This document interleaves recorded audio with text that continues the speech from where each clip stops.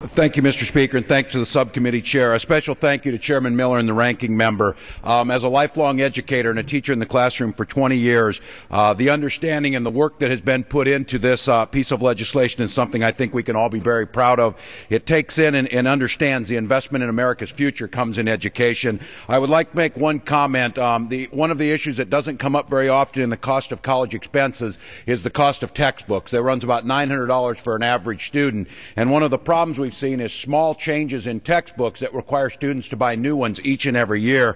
And there was a very important person in my district, uh, Jared Steny, who was the president of the Winona State University uh, Student Senate. And Jared worked for years tirelessly on this issue to bring about some transparency in how textbooks are marketed.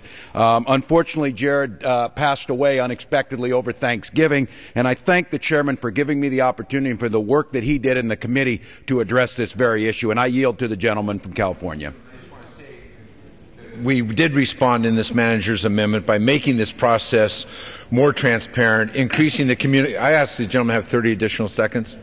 Does gentleman yield? Does, seconds. Gentleman, Gentleman has additional 30 seconds. Encouraging greater communications and cooperation between the students, faculty, college bookstores, and publishers, and providing an accurate description of what the revisions in these textbooks, what the new edition really means.